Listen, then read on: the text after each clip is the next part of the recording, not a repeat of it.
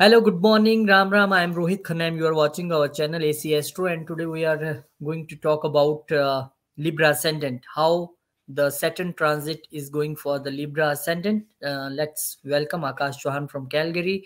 He will tell more about this transit of Saturn for Libra. Hello, Rohit, hello everyone who's watching, and Hello, hello. I hope that you're doing good.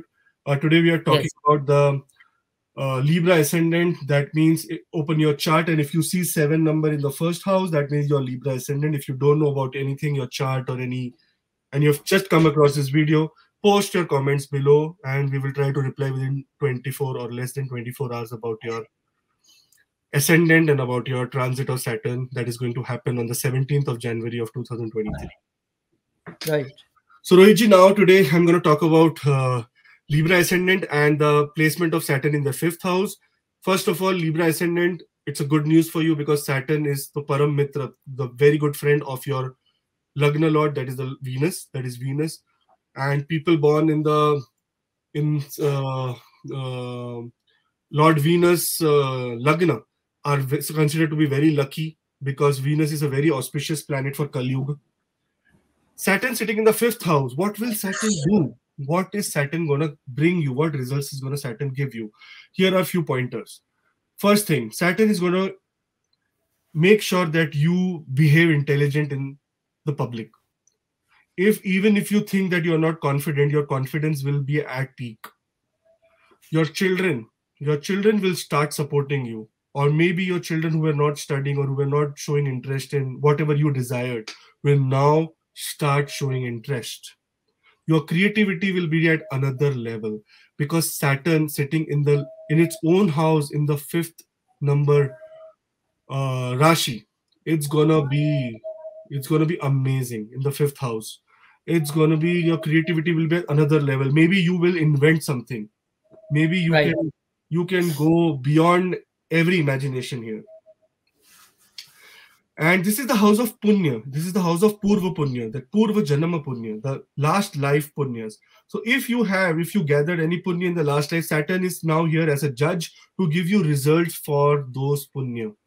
And it's not only past life Punya, it's the past day Punya also. If you have done anything good in the past, Saturn is gonna exactly give you good results for that uh, Punya, that uh, effort it is Right. also the karaka of education and it is sitting in the it, it- it's gonna now uh, help you get higher education. If you are want to move abroad because it's also looking at your seventh house which i'm coming next it's it's everything is interrelated. If you want education and if you want to go abroad then it is a very good point. If you want education in your home place very good point because saturn also rules your fourth house here the house of your birth.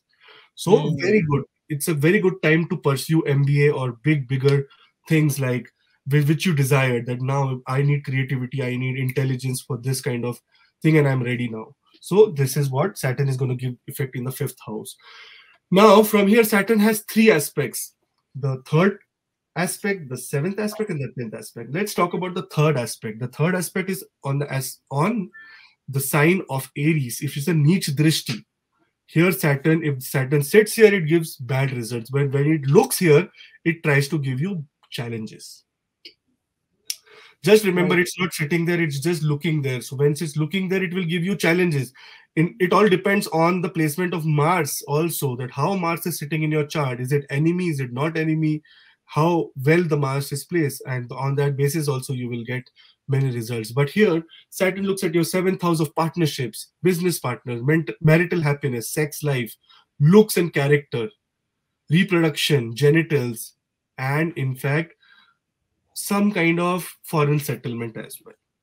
So saturn has a lot of role here. When it looks here it has to take care of a lot of things. So you have to be very careful what you're talking to your spouse either you are male you are female. You have to make sure that you respect each other. You respect your business partner. You obey them. You know uh, on the next next aspect saturn is going to look at your 11th house where you will get a lot of gains so once you start getting money you become arrogant you become egoistic you know so you have to be very careful that you are not egoistic you're not arrogant to your wife to your business partners to your work so this is the result of the seventh house for seven, uh, the first aspect of Saturn. The se- second aspect of Saturn is directly related to its third aspect as well because it looks at the house of gains and it looks at the house of bank balance.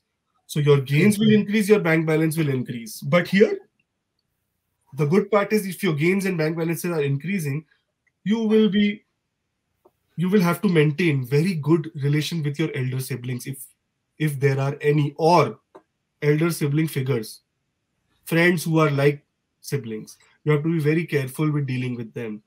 You have to also maintain your social image. The 11th house is the house of social image. You know you if you are getting money don't buy a mercedes. Be in the same car you are because it will lead to people th- people thinking that you are now egoistic and you are sh- doing show off. Saturn does not like show off. Saturn is a labor class planet. It likes to do hard work. But here saturn is going to give you a lot of money so you have to make sure that there is minimum show off.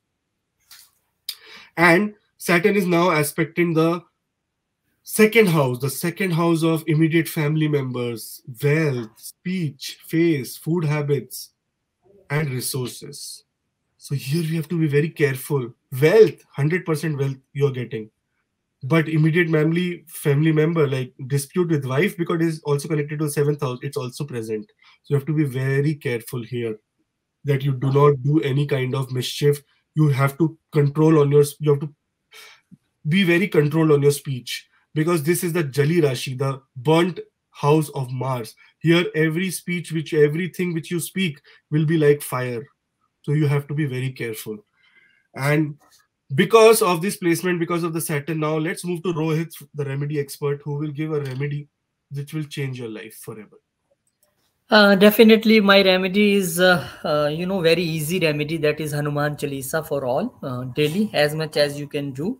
And uh, in your time either you are cooking or driving or whatever you're doing say ram ram ram in your mind or in you have to do this thing uh, and you have to control your speech as akash said. So main mantra for you is just to stay silent and this two and a half years is very important. And if you're going through shani sadasati or uh, any antardasha or mahadasha of uh, saturn then it's more important to be silent akash thank you very much and thanks to all. Uh, you are supporting very well and please share and subscribe our channel share our videos to all people and just put your date of birth in a comment if you just want to inquire anything about uh, your birth chart or anything any problem you are facing. We will try to solve this. Thank you Akash. thank you and we will meet you in next video with some next ascendant maybe scorpio. Okay thank you. Namaskar